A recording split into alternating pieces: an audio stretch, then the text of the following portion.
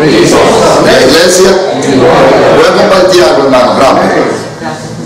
La Biblia dice en el libro de Lucas, capítulo 6, verso 44, que por su fruto los conoceréis. ¿Por su qué? ¿A quién? A un buen árbol.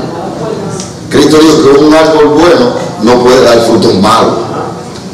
A su nombre. Escuche bien. Mateo capítulo 8, del verso 28 en adelante, habla la misma historia que habla Marco en el capítulo 5, del verso 5 en adelante, y habla la misma historia en el capítulo 8, del 28 al 34. Habla la historia en el libro de Mateo, capítulo 8, de dos endemoniados de la ciudad de Gadara. Pero Marco, capítulo 5, el verso 5 dice que había un hombre en esa tierra que se paseaba de los montes a los sepulcros. No tenía un lugar estable donde estar a su nombre pero la Biblia dice que en el verso 15, cuando Cristo llegó allí y lo libertó, este hombre, los hombres de esa ciudad que fueron a dar la buena nueva de lo que había acontecido, encontraron a ese hombre sentado a los pies del maestro. Lo primero que Cristo hace con un hombre es que le cambia el comportamiento para que dé buen árbol. No puede estar un día acá y otro día en otro lado. Qué seriedad, mi alma alaba la gloria de Jesucristo. Aleluya, gloria a Dios. ¿Quién vive? Eso es lo primero que el Señor hace. Usted sabe por qué hay algo que no tiene raíces. Porque un año están aquí y dos años están por allá. Su nombre, si tú quieres dar buenos frutos, tienes que estar plantado en un solo lugar. Cristo, Jehová Dios Padre, dice en el libro de Jeremías, en el capítulo 2, en el verso 25, guarda tus pies de andar descalzo. Usted sabe lo que, eh, lo que pasa con la gente que anda descalzo en la calle, que están prestos a clavarse con una botella, con un vidrio, con un clavo. ¿Y qué le pasa con eso? Se infecta, se pudre y espiritualmente, todo de esta parte, se puede morir. A su nombre.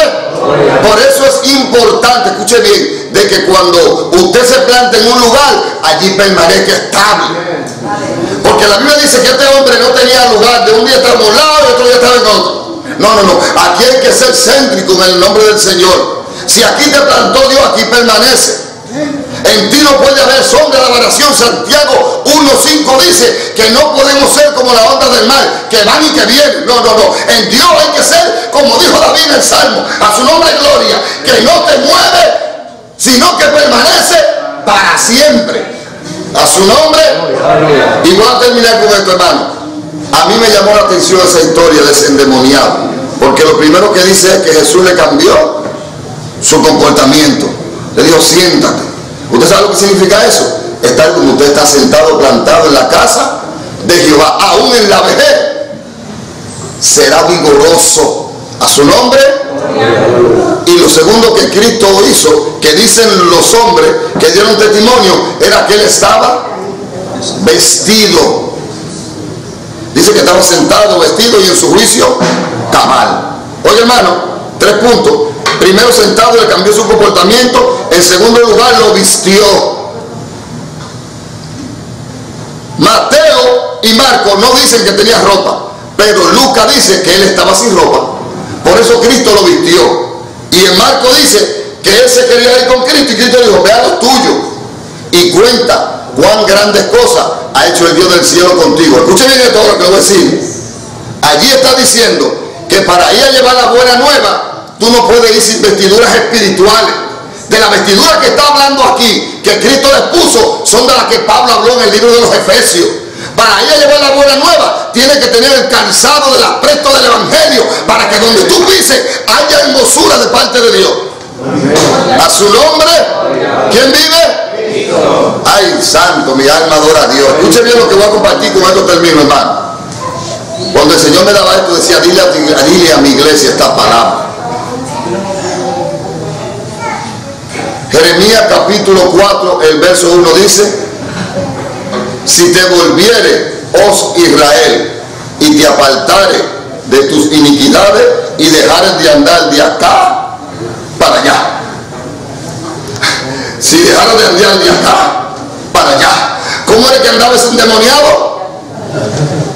de los montes los sepulcros. Porque le voy a decir algo que el Señor me dijo, hermano. La Biblia dice que cuando él le preguntó a ese demonio, ¿cómo te llamas? Le dijo, Legión. Porque muchos, porque muchos, quiere decir que uno de los demonios que había en ese gadareno lo tenía de un lado.